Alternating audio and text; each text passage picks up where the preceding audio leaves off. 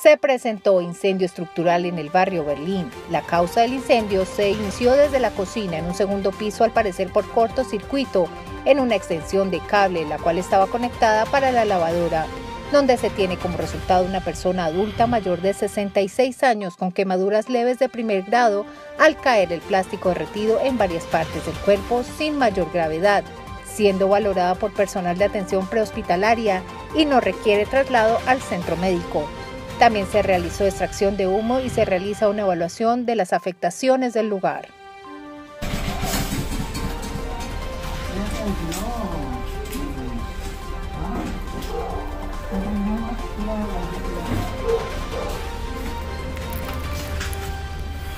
Aquí es temperatura, ¿no?